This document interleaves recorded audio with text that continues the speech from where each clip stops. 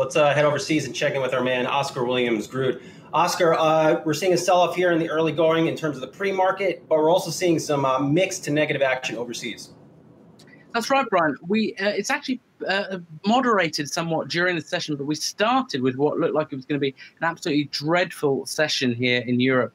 At the open, most major markets sold off by around two percent. Uh, the big driver of that is, of course, as we've been hearing, this uptick in coronavirus cases around the world particular focus on China, where there was an outbreak in Beijing over the weekend, which pushed up um, their uh, infection rate.